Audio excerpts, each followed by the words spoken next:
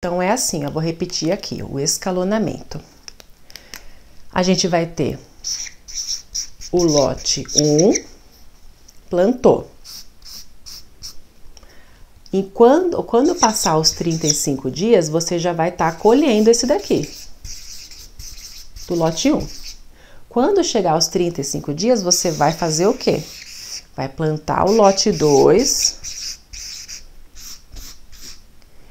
Depois, quando esse estiver acabando, esse daqui já vai estar tá com alimento no ponto de colheita, tá? Quando esse aqui estiver acabando, né? Esse daqui não acabou? Esse daqui acabou, você começou a colher esse. Quando você começar a colher esse, você vem e você planta no outro lote que estava disponível agora, porque você já colheu.